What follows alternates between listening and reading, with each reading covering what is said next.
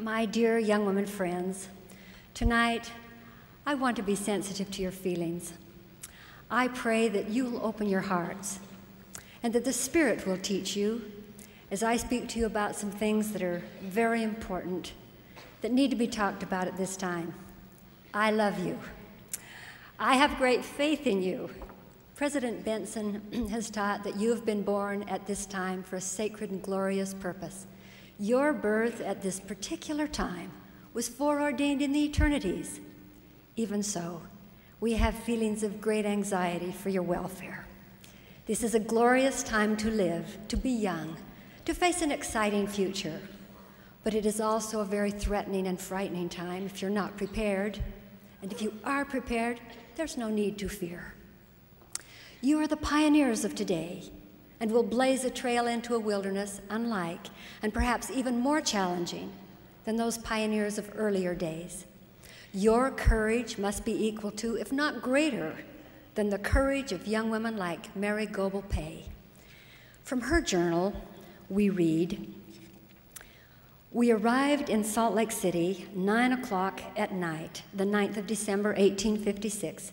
Three out of the four who were living were frozen. My mother was dead in the wagon. Early next morning, Brigham Young came. When he saw our condition, our feet frozen, and our mother dead, tears rolled down his cheeks. The doctor amputated my toes while the sisters were dressing my mother for her grave. When my feet were fixed, they carried us in to see our mother for the last time. That afternoon, she was buried. I have thought often of my mother's words before we left England Polly, I want to go to Zion while my children are small, so they can be raised in the, go- in the gospel of Jesus Christ, for I know this is the only true church. Do mothers today care that much for the gospel and for their children? They do. Of course they do. Mothers, it may seem easier for you to die in the wagon than to stand guard every day in defending and upholding standards of righteousness. It may seem easier to die for the gospel in an effort to save your children than to live for it. But live it you must, so that they will not die spiritually. And young women, it may seem easier for you to have your toes amputated than to be a pioneer today and stand on your feet in front of your peers and dare to be different if their actions violate what the Holy Spirit whispers to you is right. We are warned in the scriptures, yea, and all that will live godly in Jesus Christ shall suffer persecution. Peer pressure is a form of persecution. Peer pressure is one of the great tests of today. Do you remember the story of the early pioneers and how the terrible plague of black crickets came down from the mountains to destroy the crops of grain? Men, women, and children prayed and fought those ravaging crickets in a desperate effort to save their crops. The Lord heard their earnest prayers and sent seagulls. They devoured the crickets. The crops were saved. It was a miracle, they said. Young women, you are the tender crops of today, the promise of tomorrow. President Hinckley has taught us that when we save one young woman, we save generations. Every young woman counts so very, very much. In all soberness, I ask you, young women, mothers, leaders, all women, to consider the black crickets of our day that are trying to destroy our tender crops, not only our young women and young men, but many adults also. We've been warned by a prophet that the forces of evil will increase under Lucifer's leadership, and the forces of good will increase under the leadership of Jesus Christ. The heat of that great confrontation is becoming more intense. Sooner or later, either privately or publicly, we will all be tested. We must be prepared to defend our values, our standards, our commitments, and our covenant to stand as a witness of God at all times, in all things, and in all places. The crickets of our day are different than in times past. They're more powerful, more dangerous, and less noticeable. Let me explain. At first, things may appear to be very innocent. Thoughts, words, and pictures are placed into our minds through very subtle and sophisticated ways.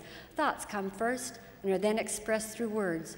No one uses vulgar, crude words without first having the same kind of thoughts. Can you see how damaging such innocent beginnings are? If we're not watchful, the crickets will creep into our safe places, our homes, our hearts, and our minds. Through TV, radio, magazines, movies, literature, music, and fashions, these evil influences will aggressively begin their silent destruction, multiplying their forces as they go. Television and video programs portray immorality as an exciting and acceptable act of love. Exposure to these messages of deception will dull your senses until what appeared alarming to you at first becomes of little concern and even acceptable. If this happens, that falsehood is unmasked. Your dreams become nightmares and your hopes destroyed. Music has a very powerful and wonderful influence in establishing feelings and moods that can lift and elevate your thoughts and your actions. But because it is so powerful, it is cleverly used by the adversary to stimulate your thoughts, feelings, and moods, to pollute and poison your mind, and cause you to do things you would not otherwise consider doing. You want to be well groomed and to look nice and to be attractive but you must be alert to the aggressive advertising of immodest fashions. Often the desire and practice of wearing such fashions begins innocently and early. Some mothers dress their little girls in ways that unknowingly train their appetite for the fashions of the world. And when they are teenagers, the pattern is set, and it's so hard to change. When the counsel of our prophet to avoid dating until 16 is disregarded, I say that is crickets. Early dating gives Satan a foothold, and single dating at an early age is an invitation for the adversary to attack you while you're away from the safety of the group. Immoral conduct, alcohol, drug abuse, the addicting and degrading effect of pornography, Satan worship, and other cult activities are all tools of the adversary carefully designed to enslave you and ultimately destroy you. The battle between good and evil is very real. We determine by the choices we make each day where we stand, what our values are, and whom we have chosen to follow. Melinda from Idaho, a young pioneer of our day, wrote about how hard it was for her to have the courage to leave her friends when they were seeing a movie that was popular, but clearly against her standards. Some may think it's just a movie. What's the big deal? She said. But it's the little things that turn into big things.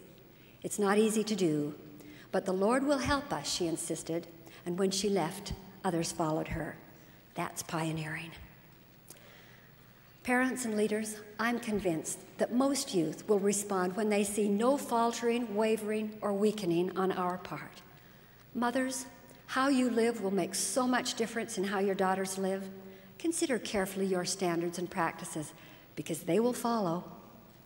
How will our youth know which way to go if there's no standard that is clearly set and taught by precept and example?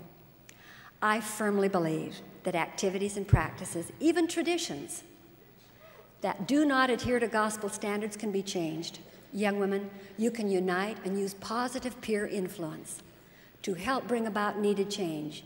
There is great power to change when there is unity in families, in wards and stakes, in neighborhoods and schools, especially when motivated by righteous principles. However, if unacceptable activities are not changed by these efforts, then choose not to participate in them. You can do that. I know you can. The Lord sent seagulls to help those early saints. Seagulls are not the answer for us today, but spirituality is. We live in a world where there are many voices and influences that are attempting to to deceive youth and adults. You might honestly wonder how can I know for sure? Some things that are so enticing seem so innocent at first. There is a sure way to know. Just as the Lord sent the seagulls to destroy the crickets, He has provided safety and protection for you and me. Spirituality allows us to have the Spirit of the Lord with us, and when we do, we will never be deceived. He has promised us, I will be your light in the wilderness if you shall keep my commandments. Now listen to this. When you were baptized and then confirmed a member of the Church of Jesus Christ of Latter day Saints, you were given the gift of the Holy Ghost. The Holy Ghost will help you recognize good and evil, right and wrong, and will teach you and help you remember the lessons you learned even before your earth life. He will strengthen you, comfort you, and give you peace. But there is something important that you must never forget. To have the companionship of the Holy Ghost, you must be clean.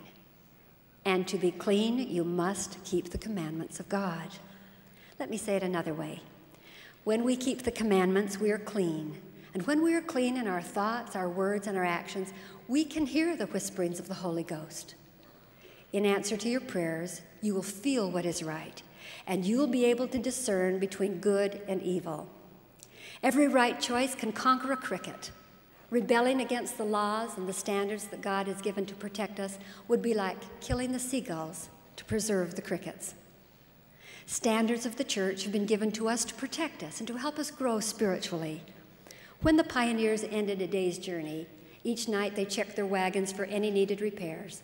They united in prayer for continued guidance and protection and took a reading of both distance and direction to see how far they'd traveled and make sure they're on the right trail we would do well to follow the same pattern today. A good measurement to ask concerning every important decision is whether or not this decision will move you toward or away from making and keeping sacred covenants and preparing for the ordinances of the temple. When you go home this evening and in the days to come, will you think seriously about what it means to be a pioneer today? Talk these things over with your family and friends. Make a firm commitment to be guided by the Spirit concerning what you will do and what you will not do. At nightfall, review your actions prayerfully, asking Heavenly Father for strength for you to live righteously, so that you will hear and feel the whisperings of the Holy Ghost guiding you.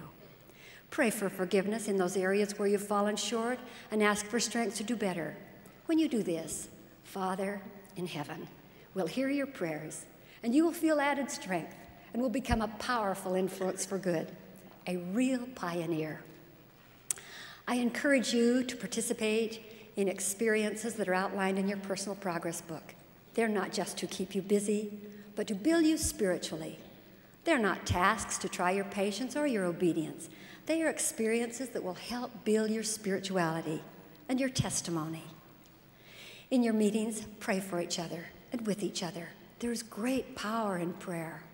Young women, we call upon you to increase your spirituality by living righteously. Raise your standards high that others might follow. You are the promise of tomorrow, the hope of Israel. Rise in might with a sword of truth and right. Sound the war cry, watch and pray. Vanquish every foe today. God bless you. In the name of Jesus Christ, amen.